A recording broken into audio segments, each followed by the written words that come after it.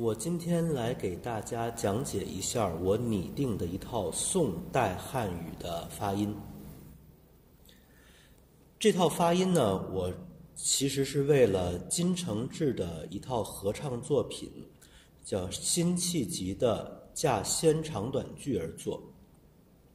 然后呢，为什么我这个叫拟定音，而不是简单叫拟音？是因为呢，拟音本身或者说读音够拟是一个科学上的一种推定，它是属于社会科学，也就是说，我们要尽量用各种各样的手段来确认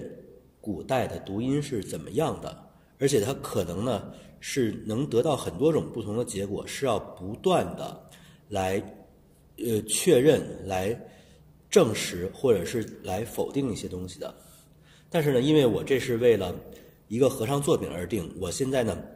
只能说我研究到一个什么程度就差不多这样了，然后我必须得把一套东西给定下来，我不能给给出一套薛定谔的发音，所以呢，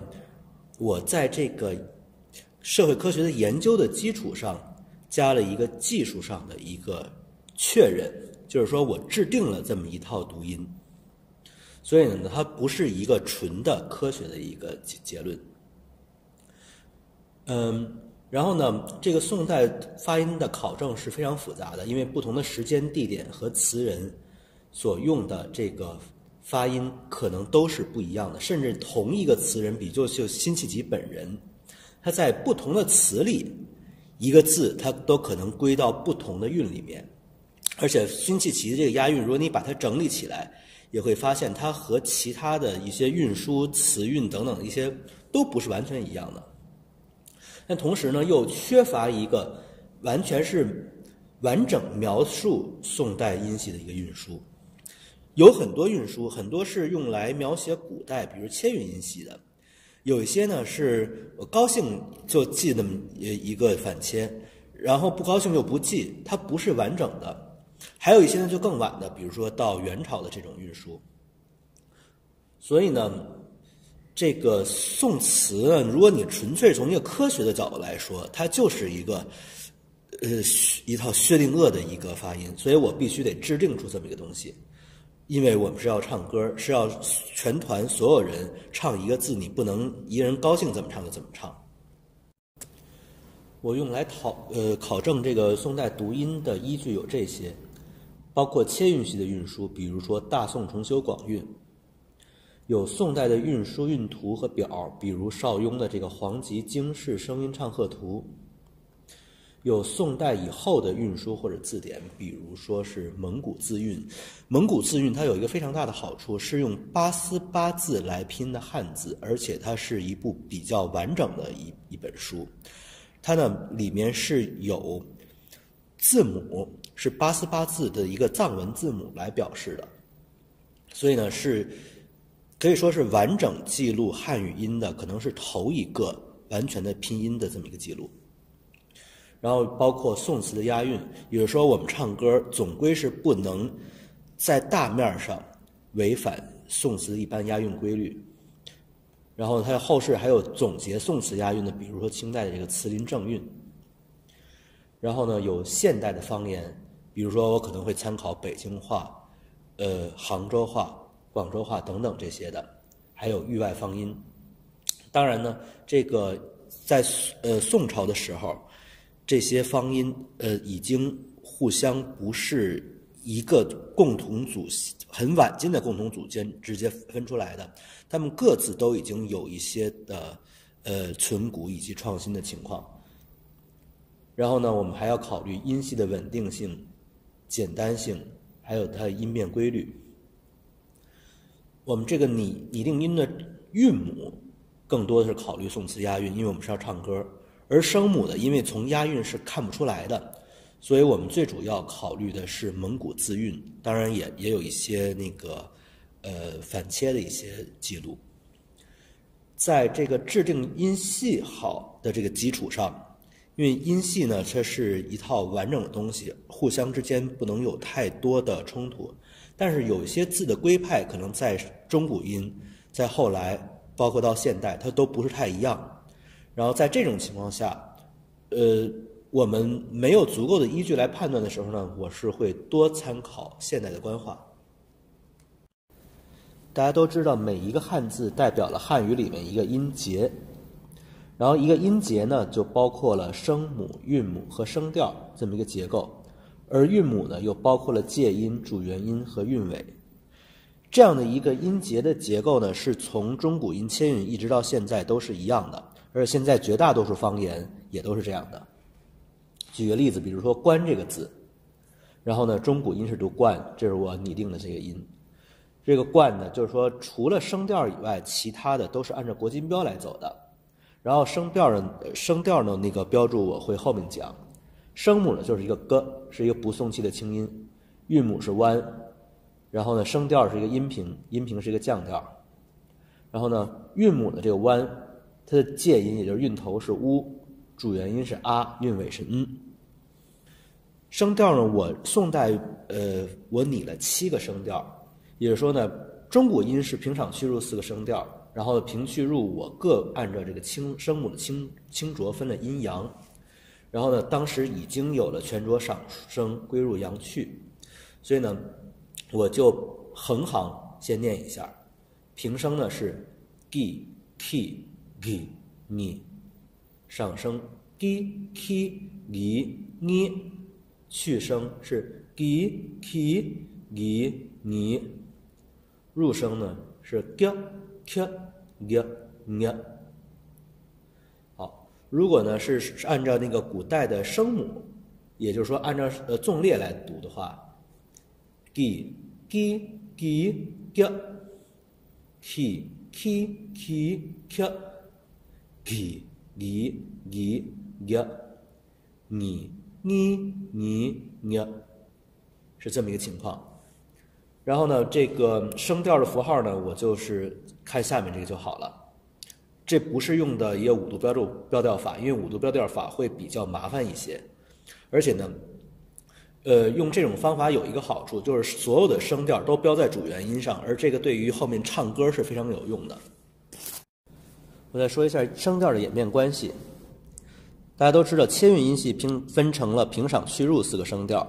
平声就是平声，上去入统称叫仄声。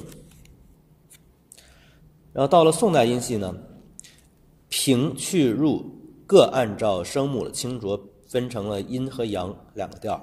而赏声呢是大部分变成了赏声，只有全浊的赏声变成了去声。这时候呢，平声和仄声的这个界限还是非常清楚的。而到了普通话，阴平阳平赏声。还都保持阴去阳去，又混合回了，就合并回了去声。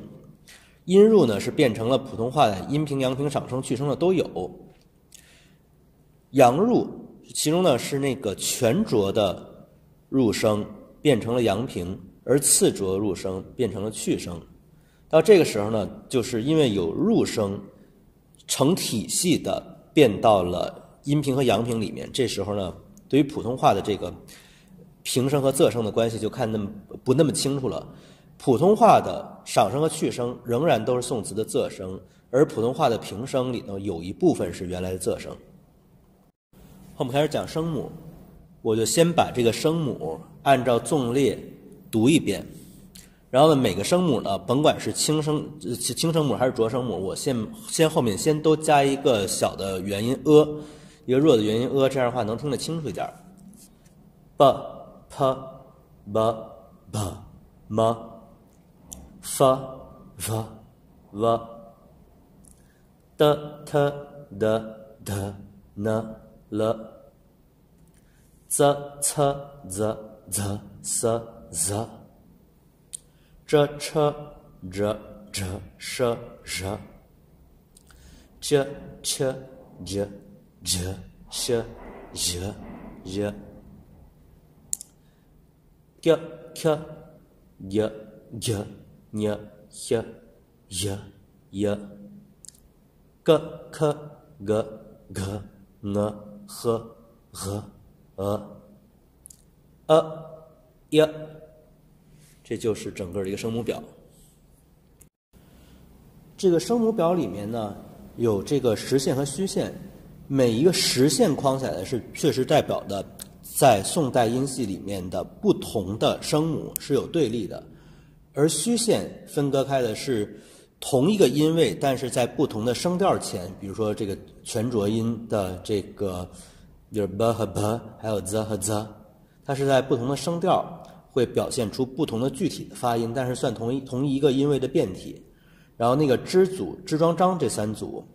他们是在那个二等和三等前面，也是说红分别是红音和细音前面，分别表现成这个卷舌和舌叶音，这个也是没有音位对立的。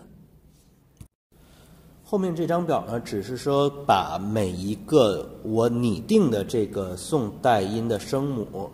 给找了一个比较接近的现代语言。的一个辅音来对应，但是它有的时候不是完全准，但同时呢，大家可以通过这个东西来学习一下，呃，比如说普通话的这个汉语拼音的这些声母韵母，用国金标到底是应该怎么表示的？呃，具体说一下宋代声母的特点呢，是说色音和色擦音有全清、次清、全浊的区别，全浊呢是按照实际发音平声送气。这个送气呢，其实浊送气有的时候是气嗓，也就是说后面接的元音是有漏气的，然后仄声是不送气的。大家听一下啊，是这样的，d、t 这两个是清音，然后呢全浊音仄声离，这就是普通的一个的的音，真跟一个英语或者法语这个的是一样的离，而这个提是 d、d，就是说呢，这个声母我这儿是你的一个浊的，后面的那个一它不是 d。呃，你听我再说一下，是它不是一个 d，而是一个 d e，它是一个有漏气的 e 的音。对于所有的全浊的平声，我是这么拟的。然后这个和现现在吴语的发音比较接近，当然吴语是清音浊流，是个 d，就是说那个的是一个轻的，后面接个一但我这里暂时是拟的一个 d，是浊音浊流。然后擦音呢，也是有全清和全浊的区别，而且它们和次浊是都不一样的。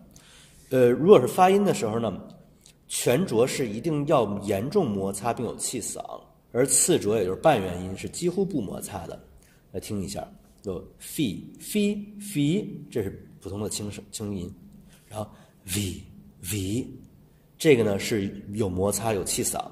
然后 v v v。这个 v 的音就跟普通话一般，呃，应该说北京话的这种口音，就是 v 王等等，这个是一样的，它是一个唇齿擦音，呃，唇齿的半元音，但几乎不擦的一个音。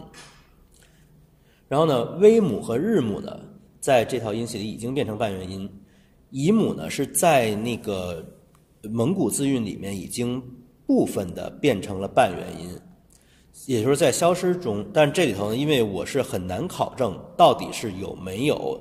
呃，已经消失呢。我这里把乙母的鼻音 n 或者 n 全都保留是鼻音。另外，宋代声母已经有了清纯音了，这个是从唐初玄奘的音就开始能知道它是已经存在了有 f、v、v 这么一套音。支庄张组呢是合并成了一套。然后呢？但是实际的音值是分成了红音和细音，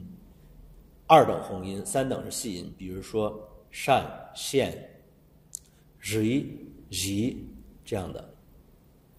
而建组、营组、小组是分化成了非恶化，也就是韵图的一三等，还有恶化，也是韵图的二四等，这么两套声母。而且呢，这两套声母都可以拼红音和细音。所以呢，它们是互相有对立的。这四个字，个安干，个烟干，然后呢，二等的加安干，四等的加烟干。然后我念一下声母的例子，因为刚才呢是按照纵列读过一遍，然后现在我再横行读一遍。b、半、b、的、但、地、z。簪子着沾子着见记。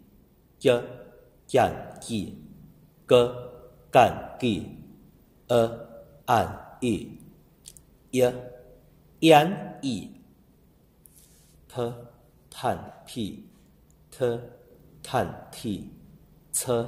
叹气，ch 颤气，ch 气，ch 颤气，k 看气，b 板笔，d 胆底，z 咱己，z 然，j 吉，y 鱼，g 言语，b 板笔，d 胆底，z 咱己，j 展日，j 见己，y 言语，g 言语。比如大家也发现，这个送气的这一套全浊音，全都是只有平声子的。啊，m、满、mi、n、难、你、nh、nhàn、你、ng、俺、你、f、泛、fi、s、散、si、sh、善、shi、sh。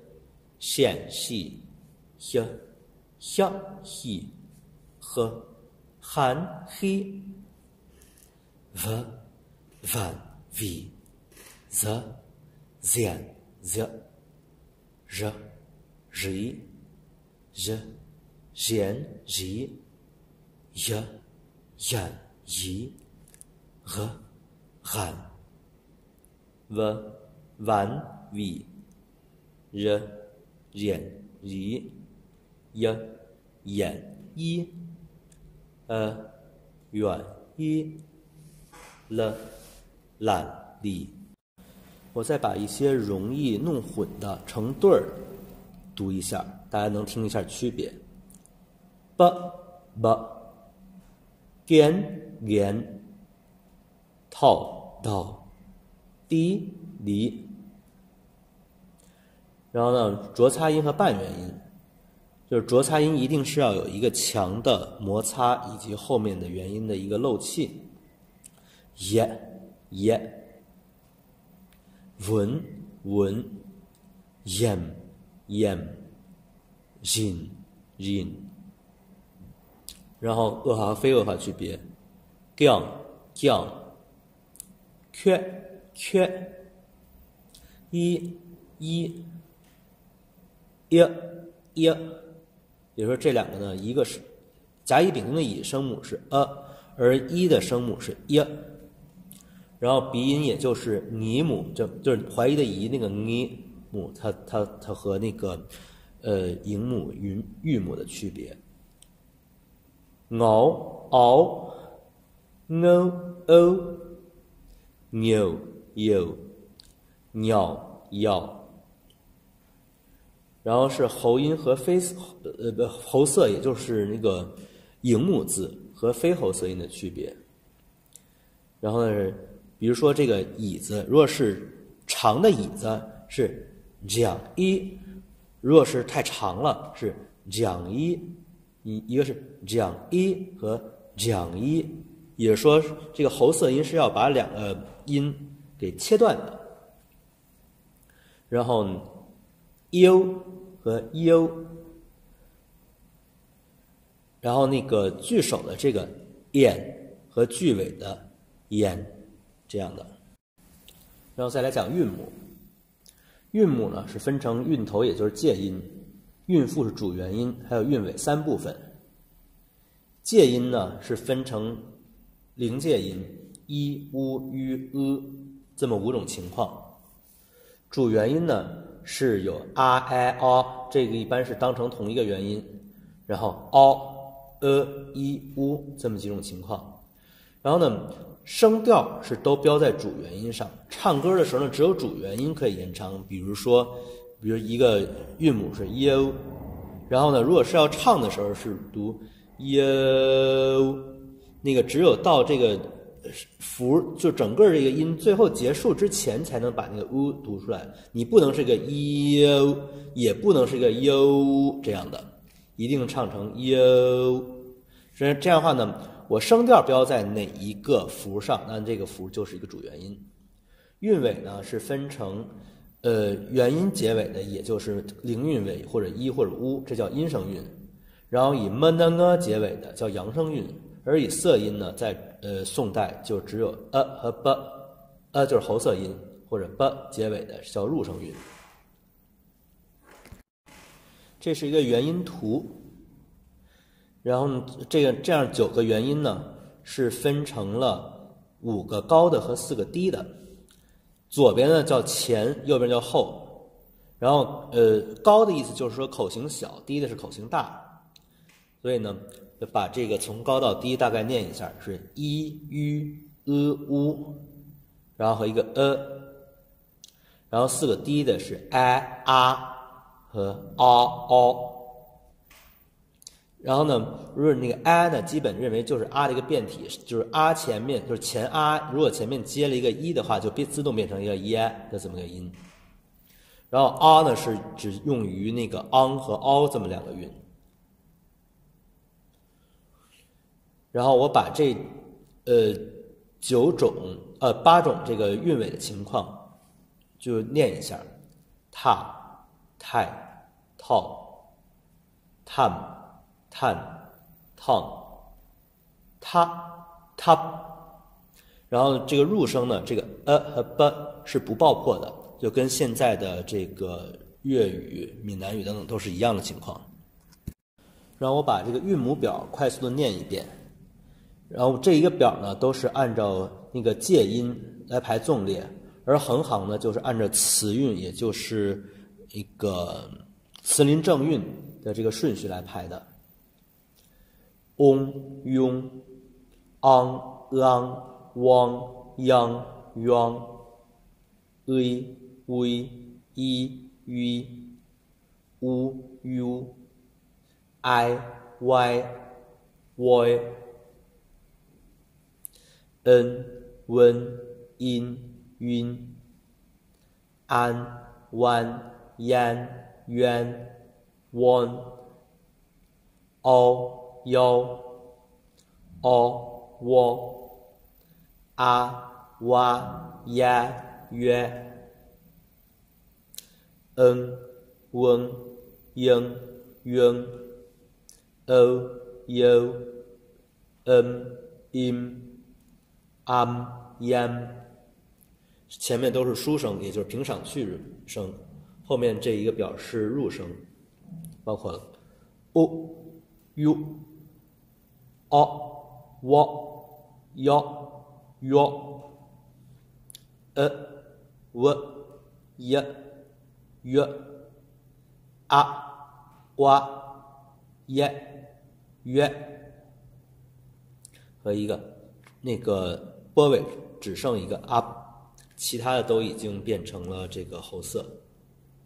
然后呢，我这儿说明一下，入声在宋代的押韵非常非常复杂，每个人以及一个人自己，还有呃，就是不同地方、不同时间的人，这个押韵都非常非常乱，而且有的人押的宽，有人押的窄，所以这里面呢，我就先只好按照词林词林正韵来算了。但是说呢，这已经是一个最能和各种实际押韵情况不打架的这么一种设定。然后说一下这个韵尾的演化关系，我这里头简单起见，就是说只说按照元音结尾的阴声韵、鼻音结尾的阳声韵和色音结尾的入声韵来说。然后呢，从切韵音系到宋代音系之间，阴声韵。呃，这个分类没变，阳声韵呢是完全没变，入声韵绝大多数都合并成了一个喉塞音，从 b 的 g 合并成了喉塞音，只有少部分这个 up 还保留是 b 尾，而到了普通话就乱了。呃，切韵和宋代的阴声韵，普通话还是阴声韵，阳声韵呢也还是阳声韵，只是 m 和 n 混合成了一个 n 这么一个韵尾。而入声韵就彻底乱掉了，变成了各种普通话的韵尾。就是说呢，如果是呃原本的这个文读的这一层的这个 b 和 a 韵尾，基本来说呢，还是在普通话是变成没有韵尾的。但是呢，还有一个北京话的白读层，它基本是从切韵音系的这个 g 或者 g 韵尾，然后呢，没有通过这个你的这套呃我拟出来这套宋代音系，然后呢，它会变成普通话的一或者乌韵尾。所以这个普通话和这一套宋代音系的对应，在韵尾上还是比较乱的。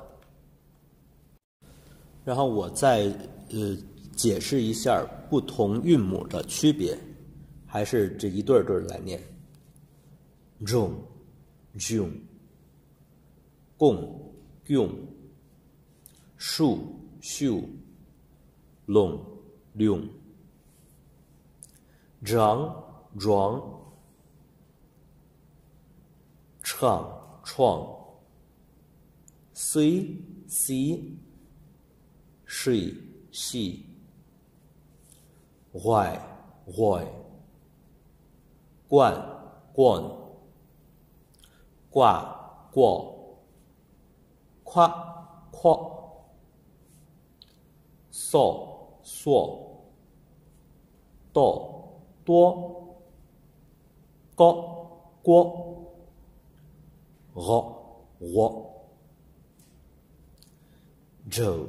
九、收、修、十、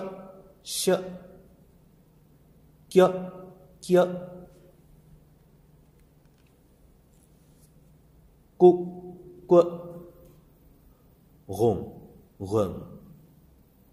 熊、熊、七、七、一、一。g g lim lin sam san tiêm tiên vám ván lạ lập hấp hấp cấp cấp